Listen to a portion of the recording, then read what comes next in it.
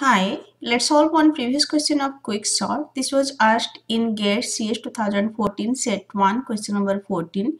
Let P be a quick sort program to sort numbers in ascending order using the first element as the pivot.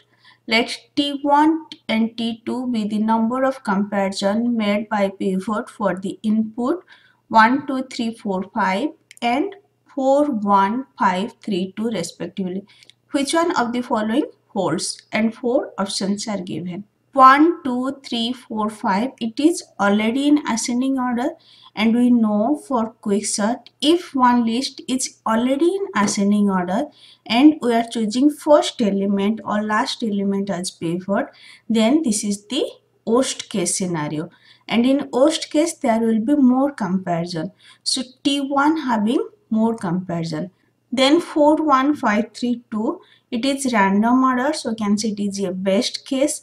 And for best case we require less comparison. So we found that t1 having more comparison than t2 T1 is the number of comparison for this list 1, 2, 3, 4, 5 and T2 is the number of comparison for 4, 1, 5, 3, 2.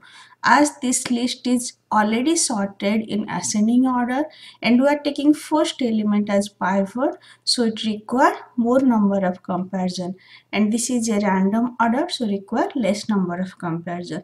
So answer will be option C T1 value is greater than T2. I already discussed quick sort, just go through that you can easily solve this question and if this lecture is helpful for you please like and subscribe. Thank you.